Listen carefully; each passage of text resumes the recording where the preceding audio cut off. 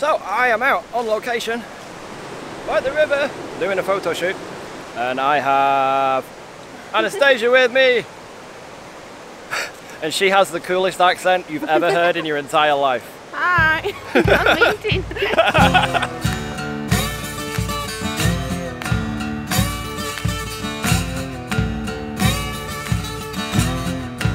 We are shooting by the river. I got the D800 with me with the 85 and the new Godox X Pro trigger.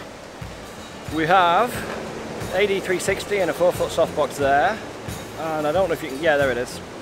We have a speed light, just acting as a rim light to provide a bit of background separation.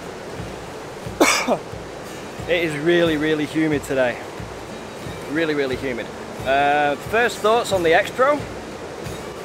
It doesn't, this is weird because with the X1T for Nikon, as soon as you go into high speed sync mode, the flash just, or the trigger rather, automatically goes into high speed sync. This one doesn't, you actually have to press the button on the top. But we've just shot a few down by the water. Put this back down. We just shot a few by the water of Anastasia sat there and no doubt one will pop up in the video about now. And uh, now we're going to have a drink and then find a new spot to shoot.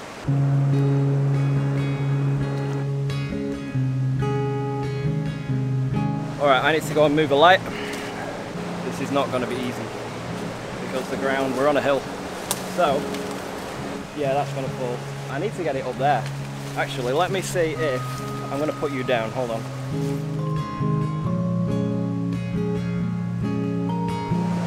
Anastasia just had a phone call. So what we're going to do is while she's having a phone call, I'm just going to walk you around and show you what we're doing and what all the lights are doing.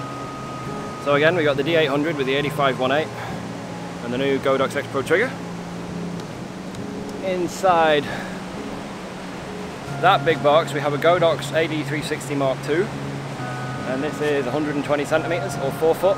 And I haven't put the grid on it because uh, we haven't really needed to. We'll just feather it off. We have the E360 VR shooting behind the scenes footage, as well as this camera shooting behind the scenes footage. And then we have a Godox TT600 sitting up the stairs or up the steps, acting as a rim light on Anastasia down there, so that when I shoot from over there, this just gives a nice highlight down this backside. And then this box, there it is, it flips it around so it's mirrored and I'm not used to that. So this softbox is like is short lighting Anastasia's face. That's it, that's the walk through the set. Now I'm going to put you back down and shoot some more.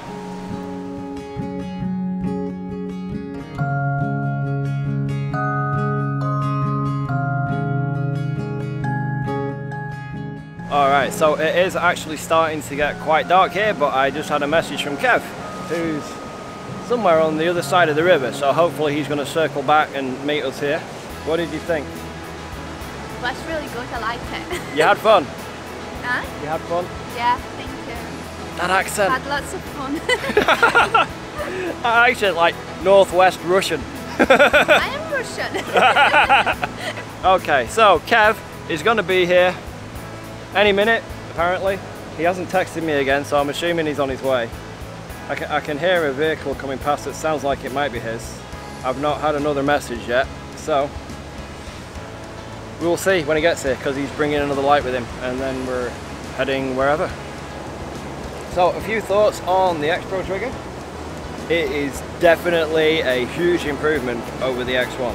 Absolutely, but sorry, I'm, I'm making sure I don't fall on my ass and these rocks are a bit slippy. Yeah, it's definitely a big improvement over the X1, but the controls do take a little getting used to. But once they're in, they're, they're in, they're easy to adjust. You can knock all the power to all the groups up or down at will, and it'll cap out when one of them hits maximum or one of them hits minimum, which is very, very nice. I, I, I mentioned before about having to hit the high-speed sync button to send it into high-speed... Yeah, I'll try that again. I mentioned before about the high-speed sync button and having to hit it to actually enter into high speed sync and that's not as bad as I uh, as I first felt that it was it, it's a lot more useful because it means that when you are using older strobes or anything like that with whatever receivers that don't support high speed sync you can stop your camera making black bars which is pretty cool The TTL to manual function worked great. I was using it with the AD360 because it was the only light that I had that, that supports TTL. The others that I have with me are TT600 which don't. The problem I found though was that TTL was overexposing the shot. I didn't want to have to mess around dialing in exposure compensation so I just did a long press on the TCM button and it converted it to a manual recording and then I knocked it down about two thirds of a stop and it was right. So as far as using TTL, I'm still not really going to use TTL to expose a shot, but I will be using TTL more at the beginning of a session just to get the flash somewhere in the ballpark because then I know, you know, I'm if I whack it on at half power and I take a test shot and it's overblown and I knock it down a quarter, take a test shot, knock it down to an eighth, take a test shot, it, it, it alright, it's only going to be a minute or two, but doing it with TTL, do the TTL to manual, knock it down two thirds of a stop or a stop, I'm, I'm there in like five seconds. So it's definitely to save some time at the beginning of a shoot, even if I don't use it all the time in a shoot. And Anastasia's up there having a break. And uh, hopefully Kevin will be here in a minute. And then I don't know where we're going because he was talking about Lancaster Music Festival. But I, I, I want to go to some other woods with a little stream running through that isn't like eight feet higher than it's supposed to be. So we'll see where we're going to go next. But now I'm heading back up this way packing up the rest of my gear and waiting for Kev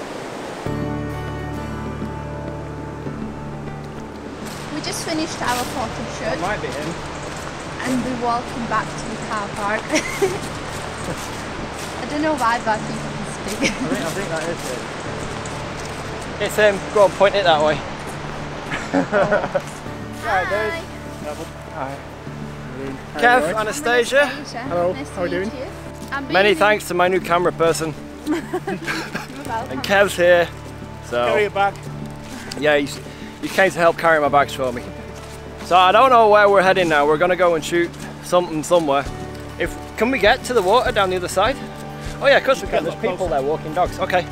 Well, I guess we're gonna go to the other side of the river and uh, and see what's up over there.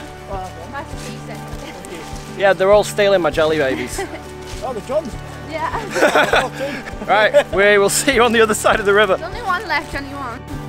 I've got two, so one for your light and one for mine. So we are at the train station, or the old train station in Holton, and we're going to test out a little bit more with the TCM function on the X Pro trigger, because I've got my AD360 Mark II, and Kev has brought his AD600 along with him, and we're going to try it out and see how well it performs with more than one light of different uh, powers.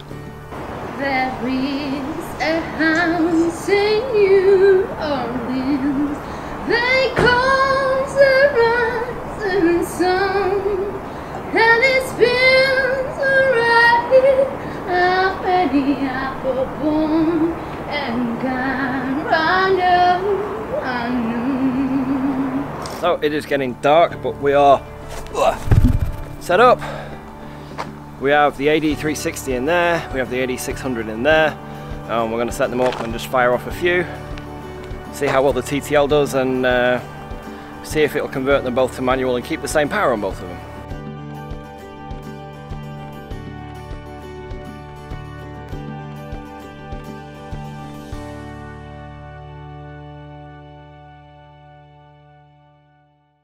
So the shoot is over. It's actually been over for a few days. It got a little bit too late on the day to wrap up and I planned to do it the next day but then I woke up the next morning and it looked like this. And it stayed like this all day. And yes, the camera's set to daylight white balance. Then it did this. And then it turned into this for the rest of the week. So today's the first day that we've had any kind of half decent weather to actually get out and do anything. I've come out today because I'm finishing off my review of the E360 VR, which you can check out on DIYphotography.net in a couple of days if it's not already up by the time this video goes up.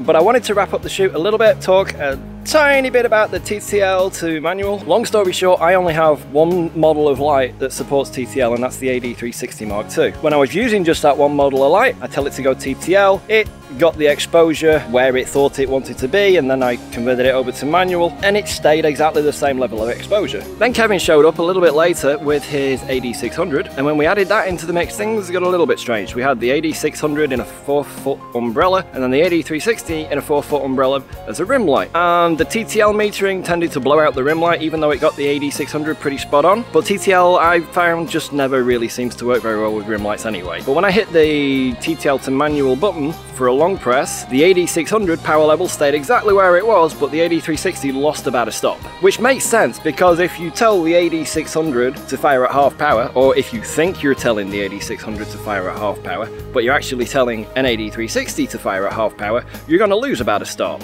But it still doesn't make sense to me why the trigger even needs to know what model light you're using. So I have a Godox X1R on the way, or actually it's the Pixapro version of the X1R. Thank you, Pixapro. And when that arrives, I will be testing it with an SB900 to see how that compares to using a Godox TTL Speedlight, which should also hopefully be on the way soon. Um, and then once I can get a bit more of an in-depth look at it, I'll put up another video and try and explain it. But until then, thank you guys for tagging along on the shoot, and I will see you on the next one.